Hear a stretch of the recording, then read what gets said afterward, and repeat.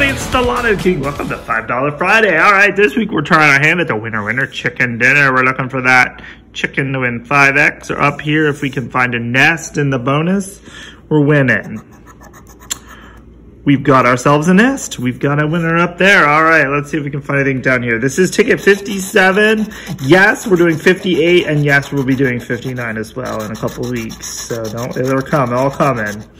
6, 2, 20, and 15. Can we get a match down here too?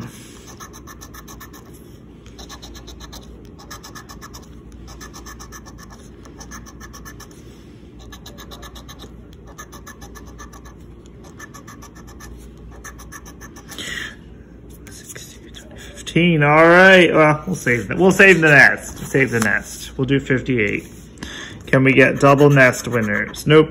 Let's have tail. All right, 30, 18, 29, and 3. You guys have to wait. You have to make you wait patiently. I'm sorry, I'm rude. So rude.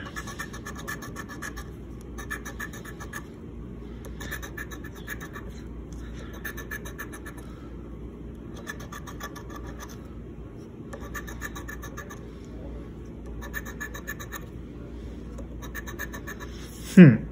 Ended eight. I, I don't see anything on that one.